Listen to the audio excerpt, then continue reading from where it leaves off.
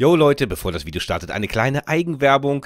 Äh, ihr seht hier den Discord. Ich habe das öfter angesprochen. Es sind schon sehr viele Leute auf dem Discord, aber viele wissen auch nicht, was ein Discord ist. Ich möchte euch das ganz schnell zeigen. Ihr habt hier verschiedene äh, Sprachchats, wo ihr zum Beispiel chatten könnt mit anderen aus der Community. Oder ihr könnt hier auch talken. Es gibt hier verschiedene Räume. Ähm, hier sind schon die ersten. Wir, wir haben hier gerade morgens früh um 10 Uhr die ersten schon am Quatschen. Unglaublich. Und hier oben ist auch mein Channel. Ich bin auf diesem Discord auch des Öfteren. Das heißt, wenn ihr zusammen zocken wollt, PUBG, ETS, was auch immer, könnt ihr hier kostenlos reinjoinen. Das ist alles kostenlos. Ähm, viele coole Leute in dieser Community hier vorhanden. Deswegen schaut doch mal auf den Discord nach. Der Einladungslink zum Discord findet ihr unten in der Videobeschreibung. Das ist eine kostenlose Software, ja zum Miteinander unterhalten. Ihr wisst Bescheid. Wir haben eine neue Podcast-Folge rausgebracht und zwar YouTube Business. Was steckt dahinter? Das ist unsere achte Folge. Das ist ein gemeinsames Podcast mit Falco. Das könnt ihr kostenlos auf Spotify hören. Einfach eintippen. Der Rüde braucht Klöten. Und äh, ja, das könnt ihr euch gerne gönnen. Unterwegs ein bisschen was zum Reinhören. Und ähm, wir werden da versuchen, so viele Folgen wie möglich immer für euch hochzuladen. Und äh, erfreut sich einer großen Beliebtheit. Das wollte ich euch auch nochmal ganz kurz sagen. Also eine neue Folge. Der Rüde braucht Klöten, jetzt am Start. So, jetzt viel Spaß mit dem Video. Danke für die Aufmerksamkeit. Ja.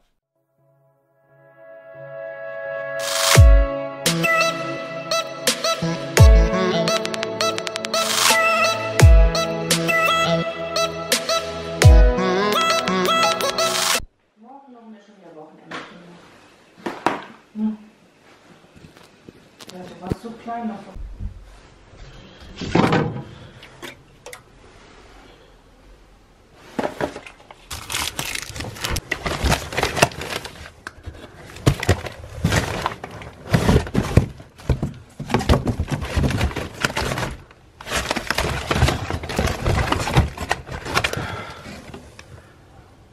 Oh ja, Banane.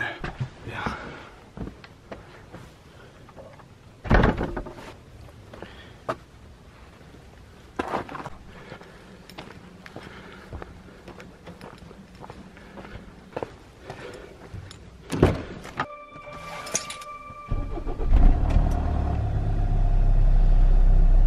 Den aus Oh shit, ich muss tanken!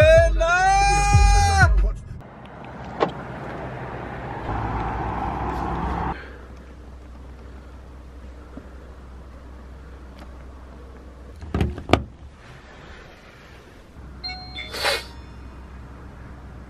Bei dem ersten Kunden, wo wir gleich hinfahren, äh, läuft es seit anderthalb Jahren super. Diese Woche komplett scheiße. Normalerweise ist, wenn ich da hinkomme, bringe ich einen vorgeladenen Auflieger dahin. Oh, warte mal. Ich bin erkältet. Einen vollen Auflieger hin und nehme einen leeren mit. Aber Erkältung ist auch noch am Start. Aber im Moment klappt überhaupt nichts bei dem Kunden. Ich komme hin, den einen Tag zum Beispiel, um ein Beispiel zu geben, komme hin und äh, sehe einen vollen Auflieger. Und zwar sehe ich das daran, wenn die Türen hinten zu sind, wenn die da äh, abgestellt sind, die Auflieger, wenn die Türen zu sind, ist der voll. Und wenn die Türen hinten auf sind, äh, dann ist er leer. So als Hinweis für mich, da brauche ich hinten reingucken, da weiß ich ganz genau, ich stelle meinen vollen ab und nehme gleich den mit den offenen Türen auf und kann, kann gleich losfahren. Dann standen zwei Auflieger da mit beiden Türen zu. Da habe ich mir gedacht, okay, manchmal vergisst es der eine äh, Rangierer, die Türen hinten aufzumachen. Guckte ich in einen Auflieger rein, der war voll. Da habe ich gedacht, okay, wenn der eine voll ist, dann wird der andere der leere sein. Angedockt, gucke noch mal hinten rein, auch voll. Dann hatten wir den vollen Auflieger, den anderen vollen Auflieger und den ich gemacht habe, auch voll. Drei volle Auflieger. Ich fahre die Linie jetzt seit anderthalb Jahren, das hatten wir noch nie. Und äh, bin ich zum Rangierer, ich sage hier, ich sage, ich brauche einen leeren Auflieger, ich muss nach Eisenach fahren. Ja, haben wir noch nicht geschafft. Äh, ich muss mal fragen, ob sie den leer machen können. Ich sage, wie, ihr müsst mal fragen. Der muss leer sein, ich muss zum nächsten Kunden. Ne? Und das geht seit einer Woche so und ich fahre eine Verspätung nach der anderen rein und kann natürlich dazu nichts. Ja, das Ganze, ob das jetzt wieder so geht, das gucken wir uns gleich mal an.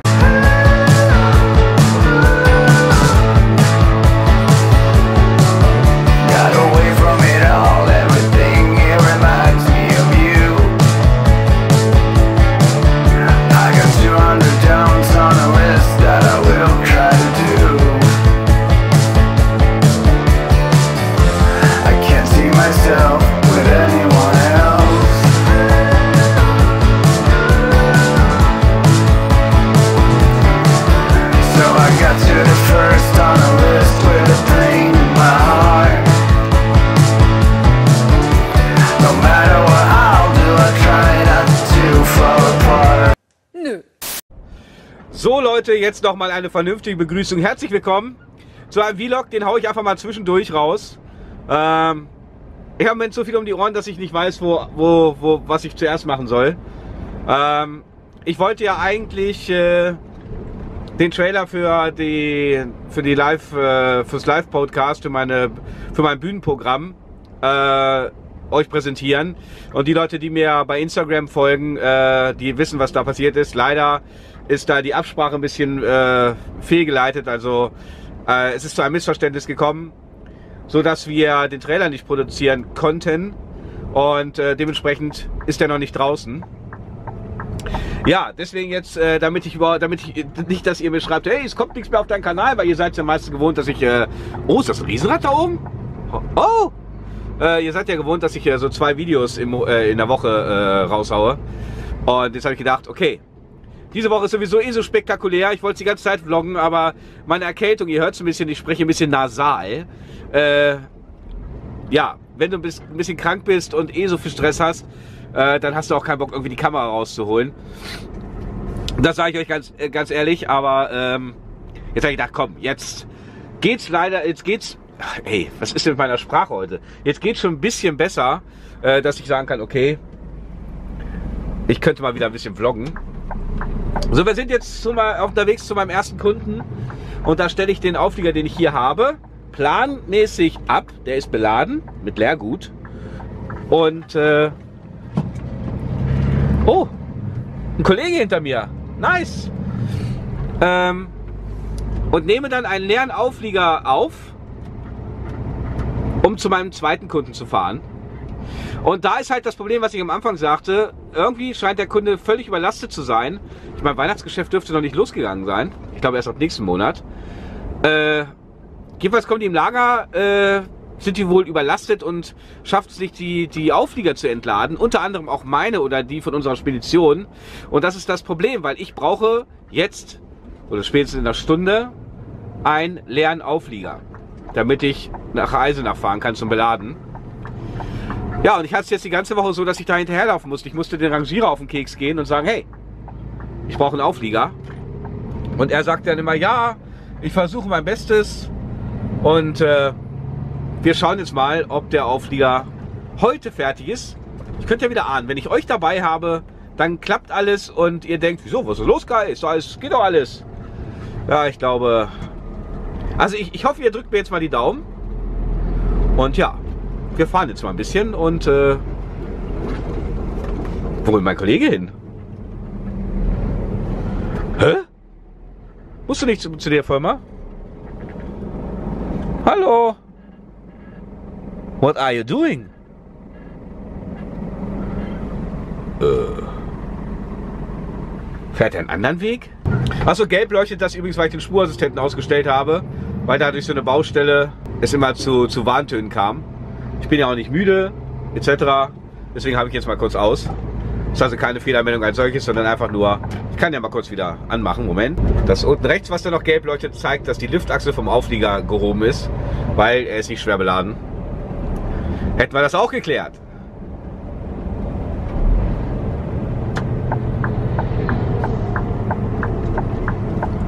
Aber ich liebe das, wisst ihr, so, so abends, so in später Stunde so durch die Stadt zu fahren.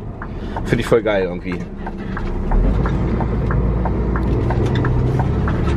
Ich denke mal, ich wette mal, mein Kollege hat jetzt eine Abkürzung. Der hat bestimmt eine Abkürzung genommen. Da die Schnellstraße, die eine bei dem großen Kreis, wo wir jetzt gleich hinkommen, die ist wieder frei. Mal gucken, ob er da schneller ist.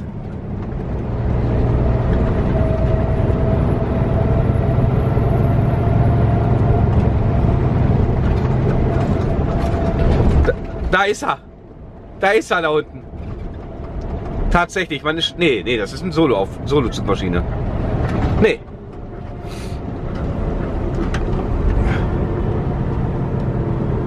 Da kommt man normal von hier oben jetzt runter. Aber ich glaube nicht, dass du da schneller bist.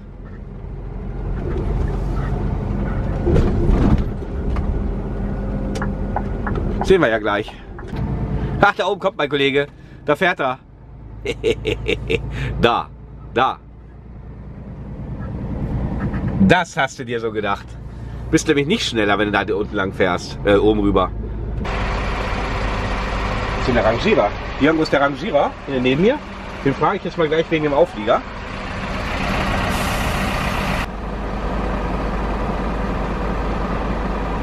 Sagt er bestimmt, ich soll gleich eine Rampe fahren. Pass mal auf.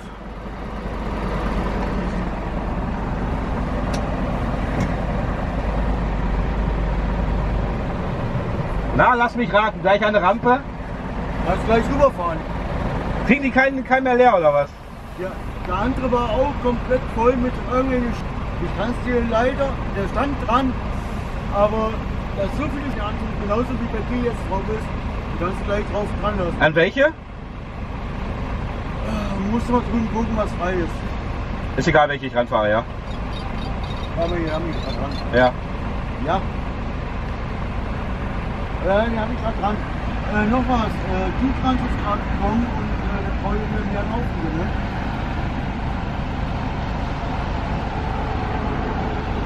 Abladen.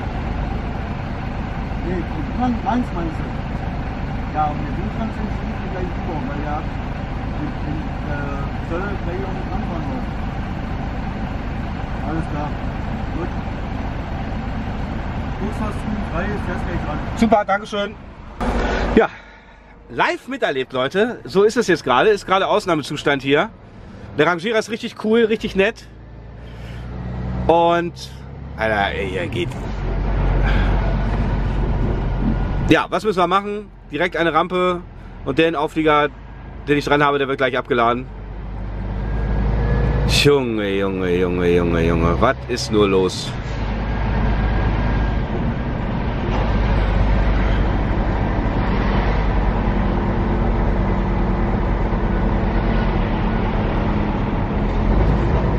Fahre erstmal eine Rampe ran und melde mich gleich wieder, weil hinter mir ist auch der Rangierer.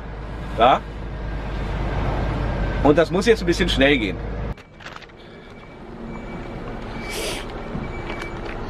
So. Wenn die Rampe drauf liegt, geht das Ganze hier auf Rot.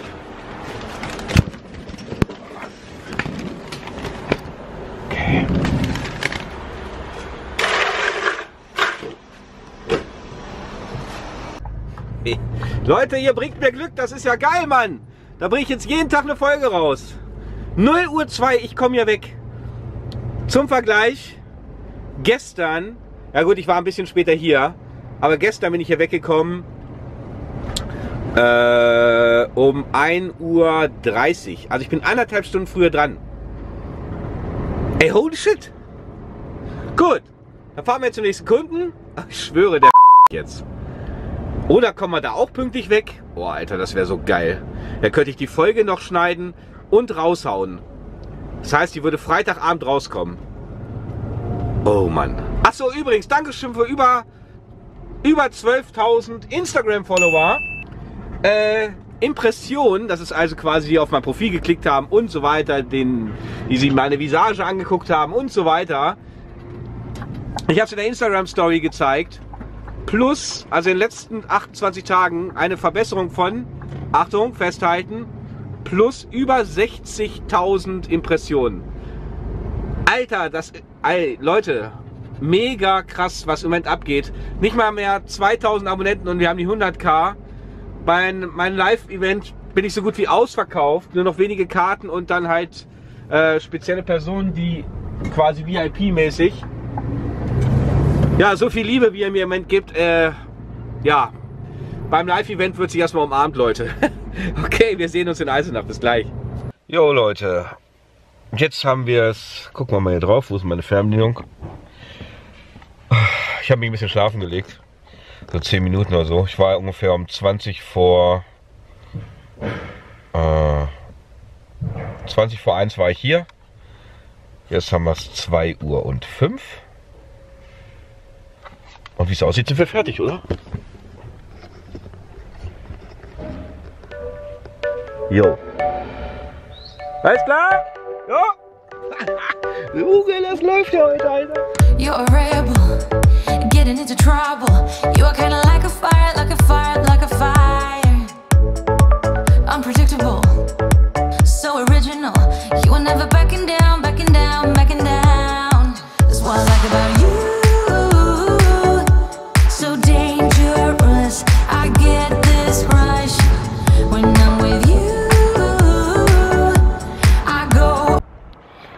gesagt, Leute, ich finde es unglaublich. Ich, äh, am Anfang des Videos jammer ich rum. Die ganze Woche klappt gar nichts. Und jetzt seid ihr dabei. Es klappt alles. Wir haben es jetzt ähm, 5 Uhr, kurz nach 5. Ich stehe an der Rampe, es wird abgeladen. Glaubt mir einfach, dass die ganze Woche scheiße war. Wir sehen uns gleich, äh, äh, gleich wieder. Äh, ja. So, meine, meine sehr verehrten Damen und Herren, das ist das Ende dieses äh, Vlogs und der ist etwas länger geworden, das weiß ich. Und äh, zum Schluss möchte ich noch mal ganz kurz auf eine kleine Kritik eingehen, die ich unter einem anderen Video gefunden habe und die ich das öfteren mal gelesen habe, wenn, das, wenn der Vlog ein bisschen länger dauert. Und zwar sind euch die Folgen zu lang. Äh, die Dame hat jetzt hier zum Beispiel geschrieben, dass sie nicht so viel Zeit hat, so eine lange Folge zu gucken. Äh, wobei, wobei ich mir jetzt ganz ehrlich sage, Jo, aber du kannst doch Pause drücken und wenn du wieder Zeit hast, guckst du weiter. Verstehe ich nicht. Ähm, ich mache ja selten lange Videos, weil ich weiß, meine Wiedergabedauer ist im Schnitt, im Durchschnitt fünf Minuten. Das ist, äh, ja, das, deswegen machen viele YouTuber so kleine Clips nur also mit fünf Minuten. Aber bei so komplexen Vlogs äh, aus dem Arbeitsalltag, da äh, mit Fahrsinn etc., da dauert es halt mit, äh, mit der Minutenzahl. Und da ist es in fünf Minuten so ein Vlog nicht zu schaffen. Ähm, ihr könnt mir bitte mal in die Kommentare schreiben, ob du bis hierhin geschaut hast. Hashtag Ende in die Kommentare, wenn du bis zum Schluss geschaut hast und schreib mir dann bitte mal, nach der, nachdem du Hashtag Ende geschrieben hast, äh, ob das für dich so in Ordnung ist oder ob du auch dafür bist, dass ich äh, kürzere Videos machen soll. Wobei ich eigentlich sonst immer nur so zwischen 10 und 13, 15 Minuten maximal bin. Äh, aber diese Vlogs dauern halt sind ein bisschen länger. Schreibt mir das bitte mal in die Kommentare, würde mich interessieren und äh, Daumen nach oben und ein Abo da lassen. Ganz wichtig, keine 2000 Abonnenten mehr, Freunde. Und wir haben die 100k. Gehabt euch wohl. Euer Kai. Macht's gut. Bin aber noch verschnupft. Tschüss.